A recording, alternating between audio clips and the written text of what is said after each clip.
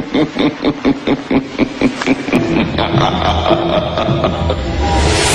va a encantar este sitio, ¿eh? Vuelve cuando quieras y no olvides traer a tus amigos.